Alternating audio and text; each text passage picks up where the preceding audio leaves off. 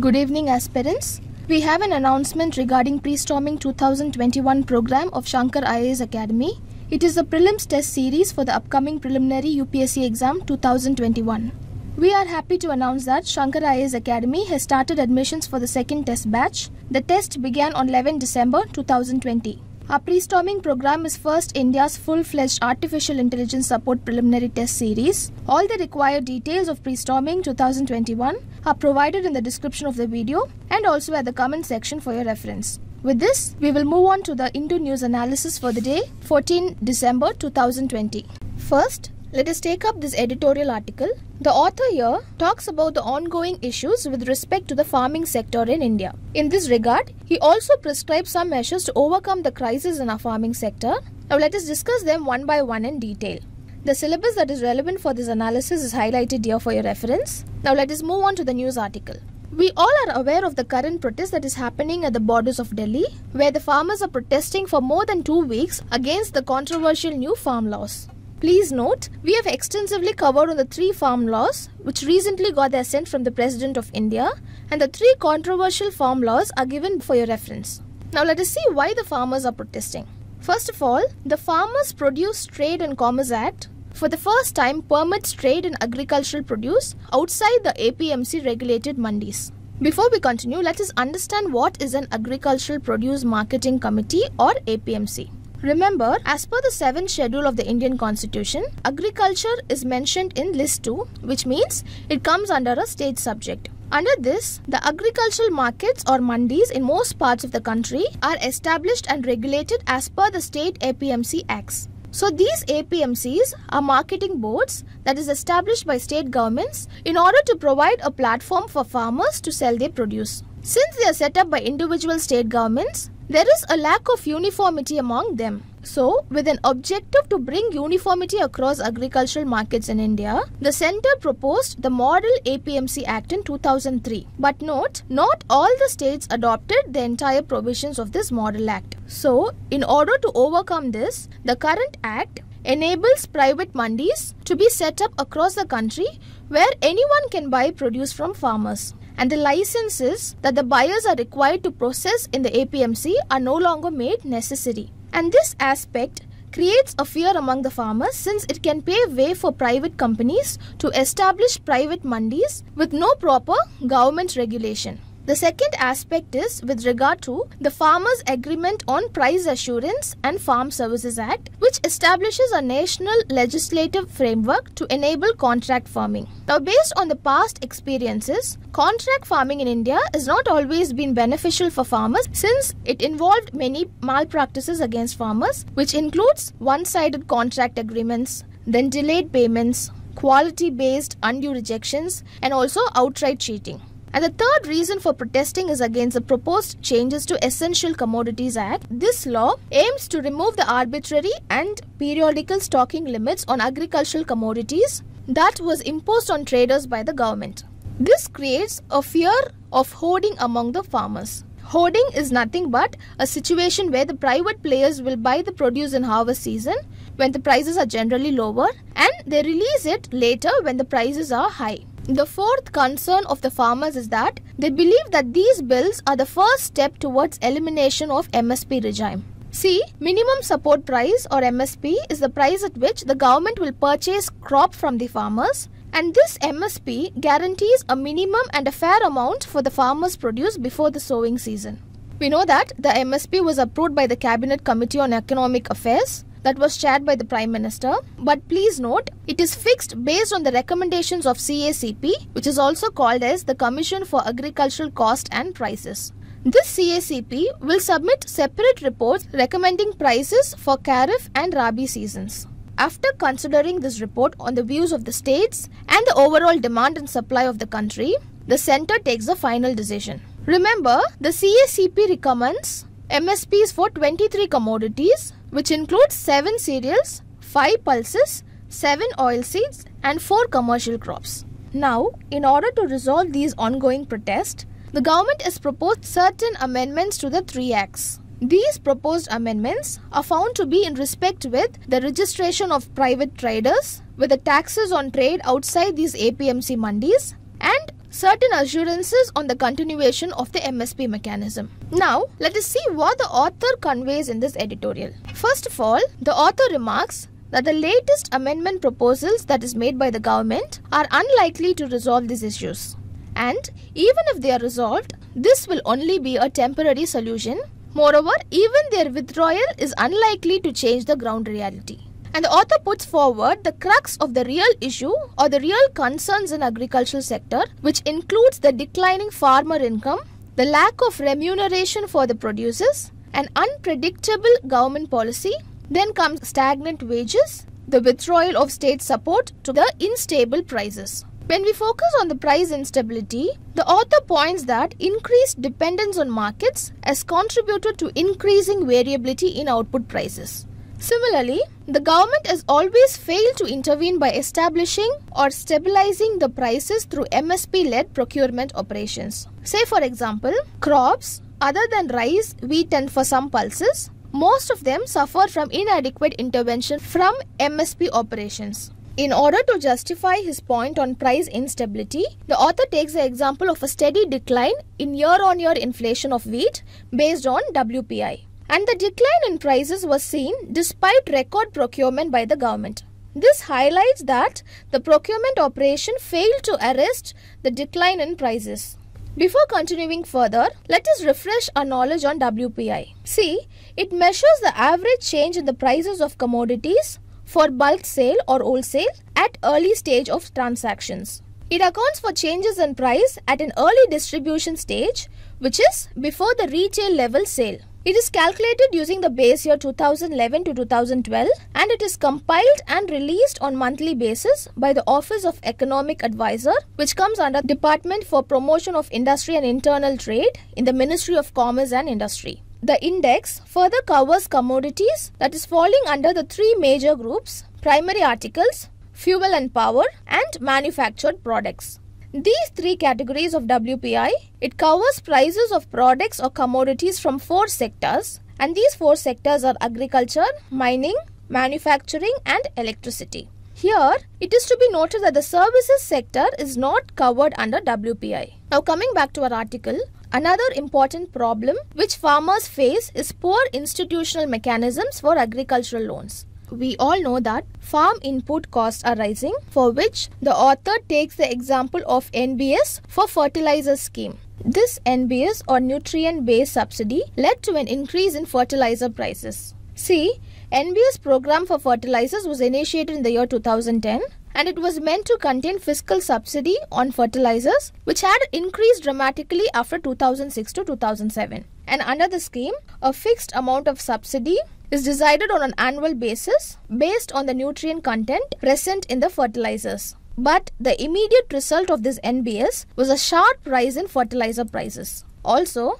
the withdrawal of diesel subsidy and the rise in electricity prices, it further contributed to making agricultural unviable. And to add to this, the farmers meet most of their cash requirements from non-institutional sources, which includes middlemen who have contributed to the rising cost of cultivation and to the increase in loan defaults.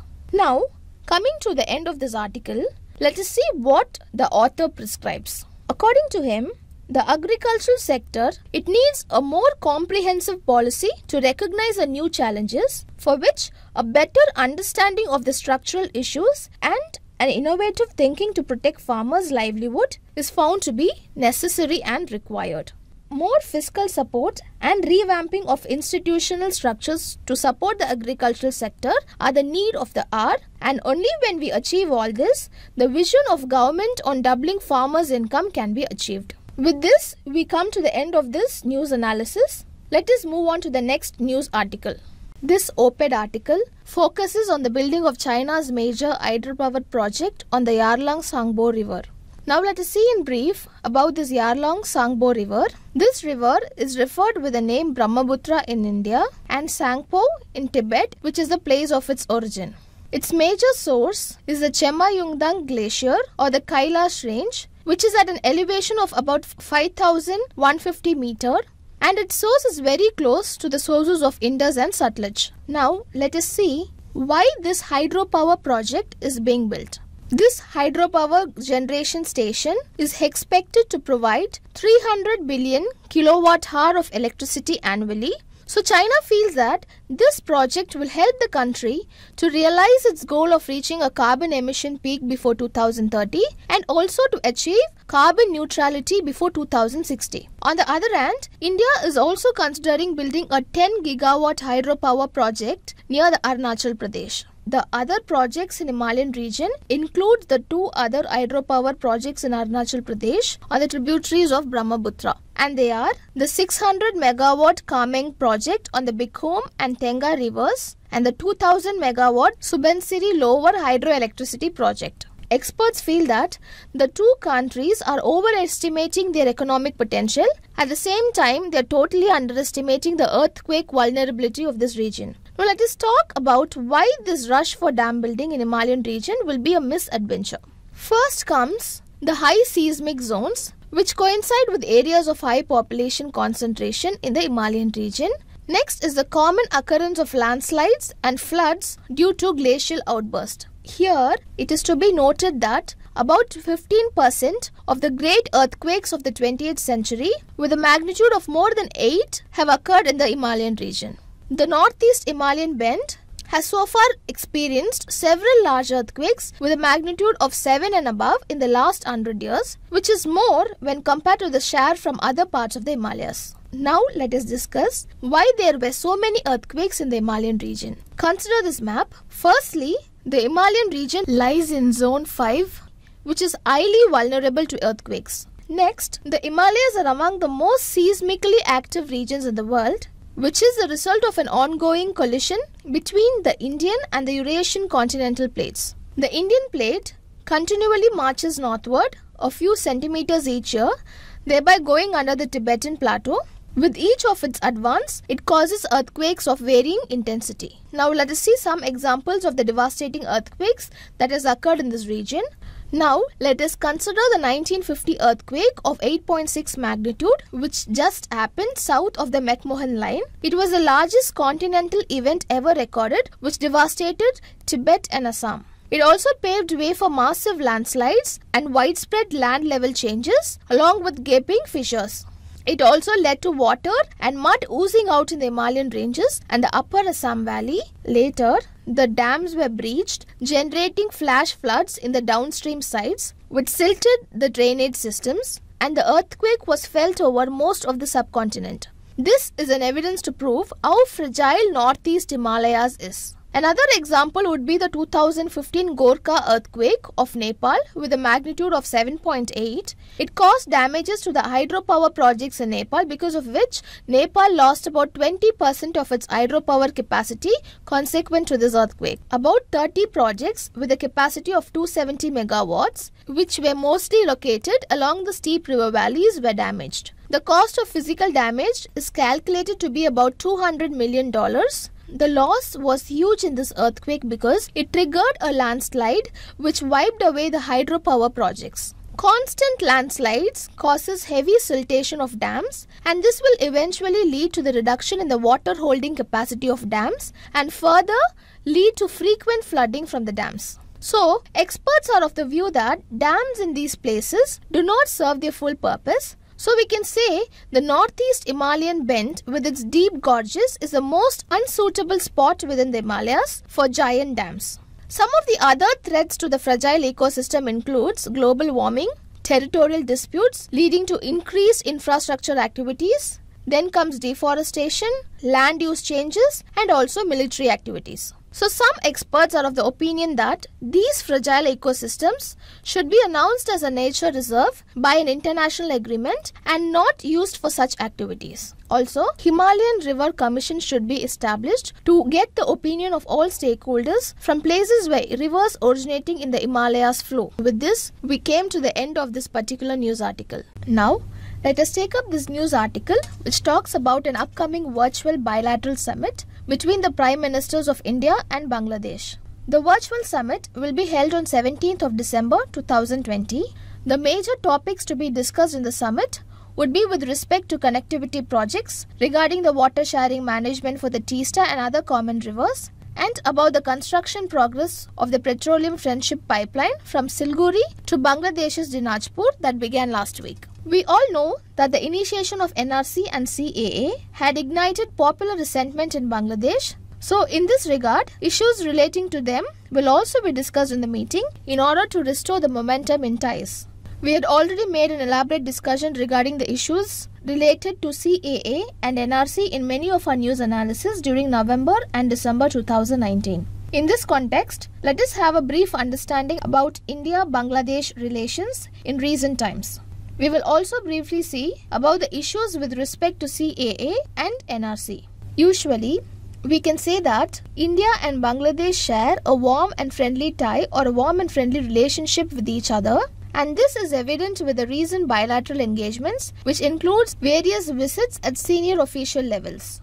The multi-dimensional cooperation between the two countries ranges from traditional sectors of tourism, health and education to frontier technologies of nuclear science, space and information technology.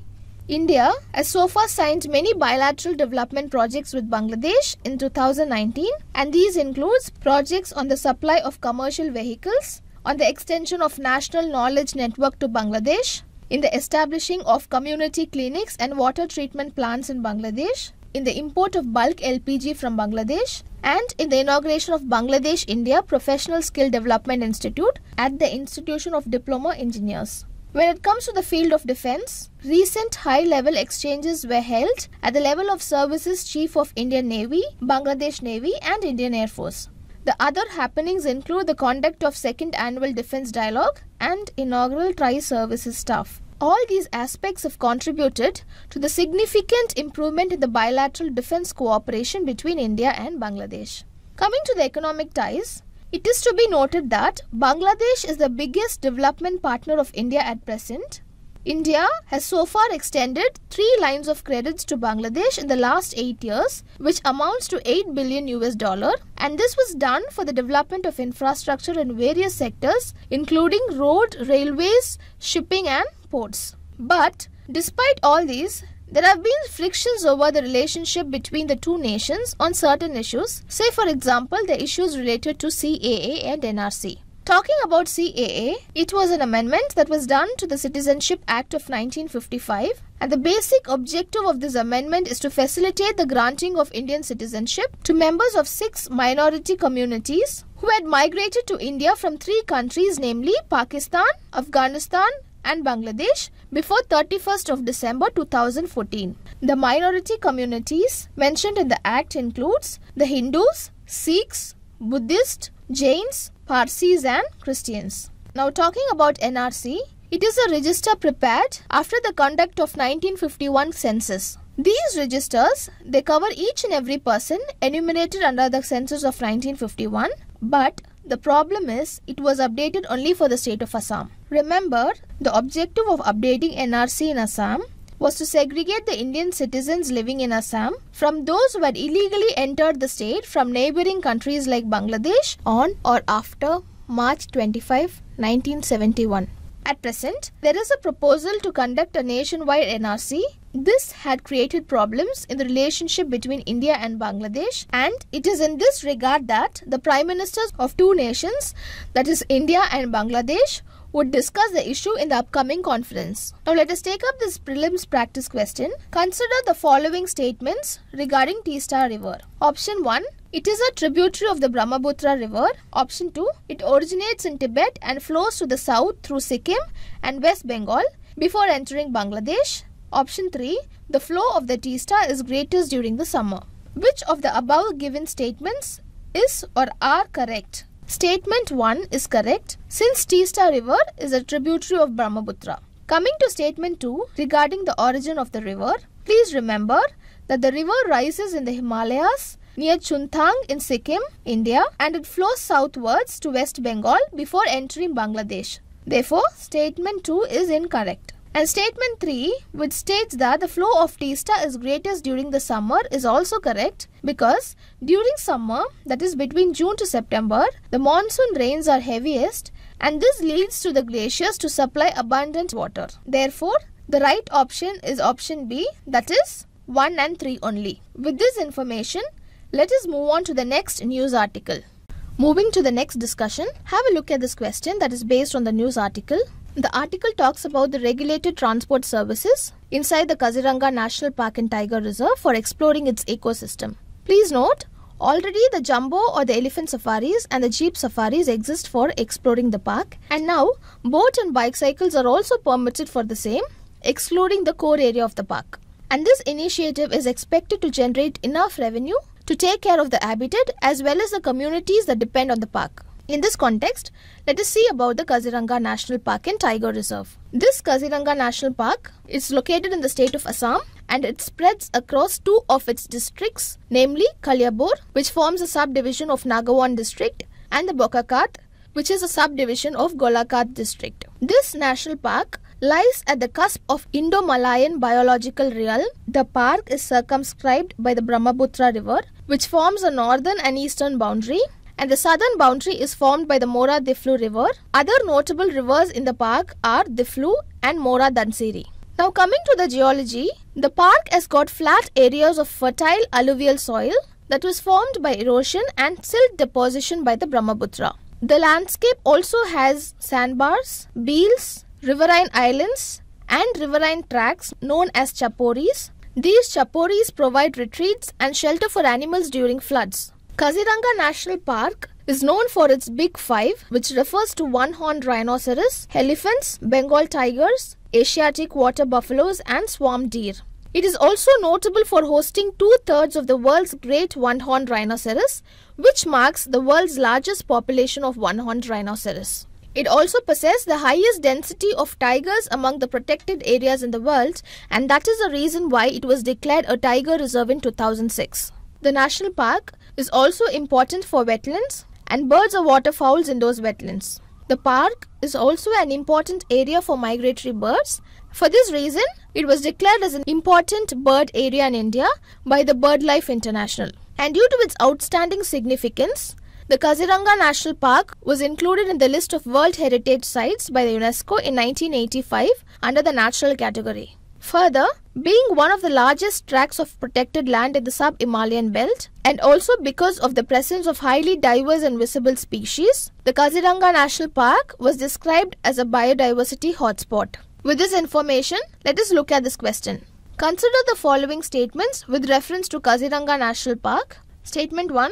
It is known for Big Five, namely one-horned rhinoceros, elephants, Bengal tigers, Asiatic water buffaloes and swamp deer.